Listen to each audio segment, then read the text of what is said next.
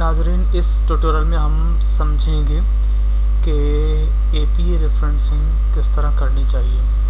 A P A referencing बिल्कुल Harvard की तरह ही होती है। उसी में भी सेम पैटर्न फॉलो किया जाता है, लेकिन उसमें सिर्फ़ फ़र्क एक ही होता है, जो कि एंड का होता है।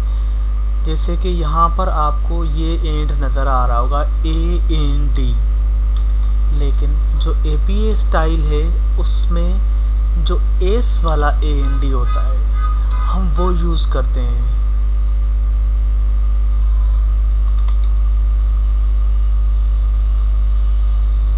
जैसे कि इसको मैंने क्लिक किया और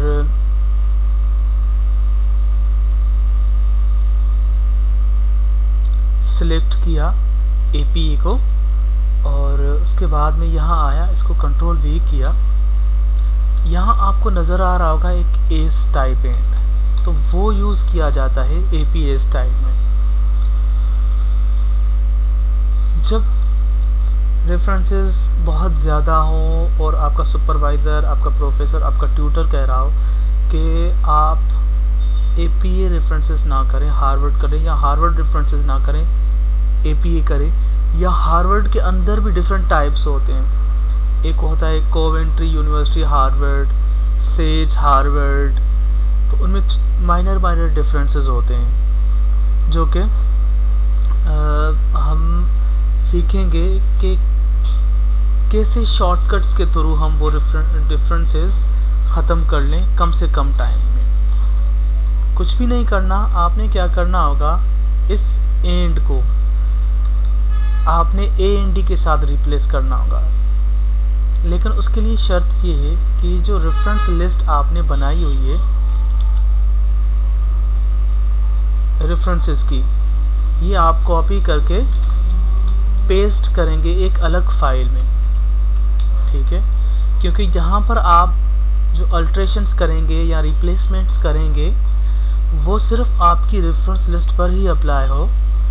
बाकी कंटेंट पर अप्लाई नहीं हो, क्योंकि अगर यहाँ आप रिप्लेसमेंट करेंगे तो वो रिप्लेसमेंट हो सकता है किसी और पैराग्राफ में या किसी हेडिंग में अप्लाई हो जाए। तो इस चीज़ को अवॉइड करने के लिए हम क्या करेंगे? इस लिस्ट को रेफरेंसेस या रेफरेंस लिस्ट को हमने कॉपी करके नए फ़ाइल में डाल दिया। अब इसको हम करेंगे कंट्रोल एच क्या करेंगे? कंट्रोल एच किया हमने। अब हम उसमें ए एन डी को ए एन डी को हम लेंगे। उसको रिप्लेस करेंगे एस के साथ, जो एस वाला एंड एंड होता है। लेकिन ए एन डी को अकेला नहीं लेना। ए एन डी को फुल स्टॉप के साथ लेना होगा। उसका रीज़न ये है कि ए एन डी जब रेफरेंसेस के अंदर यूज़ होता है तो उसके बाद पहले फुल स्टॉप दिया जाता है। लेकिन जब हम उसको अलग यूज़ कर रहे होते हैं जनरल कंटेंट में तो उससे पहले फुल स्टॉप नहीं होता। क्योंकि ए एन डी कनेक्ट करता है आपके सेंटेंस को, लेकिन यहाँ पर उसकी मीनिंग अलग होती है और वो ऑथर्स को डिफ्रेंशिएट कर रहा होता है। और जहाँ पर फुल स्टॉप इसलिए दिया जाता है कि वो शॉर्ट फॉर्म से इनिशियल से। खैर, इसको हमने कंट्रोल एच किया। कंट्रोल एच किया, यहाँ हमने इसको कंट्रोल वी किया। कंट्रोल कॉपी करके यहाँ थी, यहाँ कंट्रोल वी किया।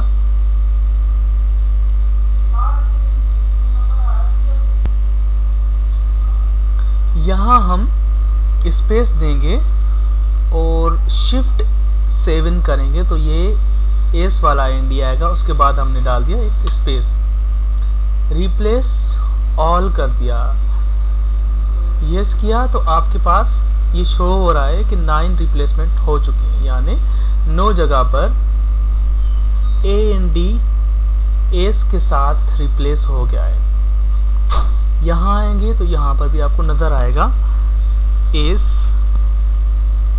ए एन डी के साथ रिप्लेस हुआ है। लेकिन एक चीज़ हमने स्किप कर ली है, वो ये कि उसको रिप्लेस भी फुल स्टॉप के साथ ही करना था। यानी यहाँ पर भी हमने फुल स्टॉप देना था, उसके साथ ही रिप्लेस करना था। रिप्लेस ऑल कर लिया हमने, ठीक है। उसके बाद आता है ईयर ए में आपका ईयर ब्रेकेट के अंदर क्लोज होता है, चाहे वो कौन सा ईयर हो, किस टाइप का रेफरेंस हो बुक हो जर्नल आर्टिकल हो, या कोई और सोर्स हो, लेकिन आपका ईयर क्लोज होता है ब्रेकेट के अंदर। तो आप देखेंगे कि जितने रेफरेंसेस हैं, उतने ईयर्स हैं आपके पास।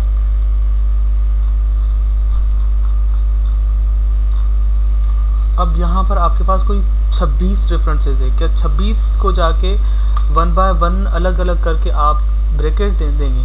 नहीं। इसका आसान हल ये है कि सबसे पहले हम देखेंगे 201 पूरा साल नहीं, सिर्फ़ 201 तो वहाँ से हमें पता चल जाएगा कितने रेफरेंसेस हैं। फिर हम क्या करेंगे? 201 को और उसके से पहले, यानी फुल स्टॉप और कॉमा को सिलेक्ट करके चेक करेंगे। फुल स्टॉप और कॉमा को हम इसलिए ले रहे हैं ताकि हमें कोई एरर ना आ जाए या किसी गलत जगह पे रिप्लेसमेंट ना हो जाए। इसी को हमने कंट्रोल एच किया और फुल स्टॉप कामा लिख के ब्रेकेट लिख के 2001 लिखा। अब हम यहाँ आएँगे। यहाँ हम डिसाइड कर लेंगे कि सबसे पहले कौन से ईयर से शुरुआत कर लें। फॉर एग्ज़ाम्पल मैं 2015 से शुरू कर रहा हूँ तो यहाँ फाइव लिखूँगा और यहाँ भी आके फाइव लिखूँगा। उसके बाद इसको ब्रैकेट में करूँगा क्लोज मैं रिप्लेस करूँगा। अब जितनी भी 2015 की रिप्लेसमेंट्स होंगी, वो 2015 के साथ रिप्लेस हो जाएँगी। ऐसे ही उसके बाद 2016 की बारी है। यहाँ पर 2016 डाला, यहाँ पर भी 2016 छः डाला मैंने। तो यहाँ पर 2016 का आ गया और उसकी रिप्लेसमेंट हो गई। नो रेफरेंसेस माने आपके दो हज़ार सोलह के हैं। ऐसे ही आप 2017 तक जाएँ, फिर यहाँ पर भी 17 लिखें और कंटिन्यूसली जब तक रेफरेंसेस हैं, जब तक ईयर चल रहा है रेफरेंसेस का, तब तक आप उनको रिप्लेस करते रहें और ओवरऑल चीज़ों को आप A P to Harvard convert कर सकते हैं। ऐसे ही सेज में होता है। सेज में क्या होता है? ये एंड वही रहता है। कंट्रोल हमने कर लिया। लेकिन सेज में एंड हार्वर्ड वाला ही रहता है। उसको हम दोबारा ए एन डी के साथ रिप्लेस कर लेंगे। Once we have done with this उसके बाद हम क्या करेंगे? ये जो ईयर वाला ब्रेकेट होता है, उसके बाद एक फुल स्टॉप आता है हार्वर्ड हो गया या आई वो नहीं होता आपके सेज हार्वर्ड में, सिर्फ़ ये डिफरेंस होता है। एंड सेम ही रहता है, और यहाँ पर ये फुल स्टॉप नहीं होता, यानी ये, आप चाहें तो वन बाय वन जाके उसको रिमूव करें, अगर नहीं चाहें तो वही फार्मूला अप्लाई करें। इसको आपने क्या किया? कंट्रोल किया। यहाँ पर आप आए। 2000 लेट से आप 2018 से शुरुआत कर रहे हैं। तो आप यहाँ आए फुल स्टाफ लगाया। इसी को ही आपने जाके रिप्लेस किया full stop without full stop तो ये जहाँ पर भी होगा, आपकी रिप्लेसमेंट्स कर लेगा। तो ये छोटे छोटे शॉर्टकट्स होते हैं कि किस तरह हम ए पी ए थे हार्वर्ड हार्वर्ड से ए पी ए और किसी भी स्टाइल में चेंज कर सकते हैं। एक चीज़ और कि कभी कभार कहीं कहीं पर मिस हो जाती हैं चीज़ें। तो वो हम एक क्विक व्यू देखेंगे और चेक कर लेंगे कि कोई कहीं पर चीज़ मिस तो नहीं हो गई।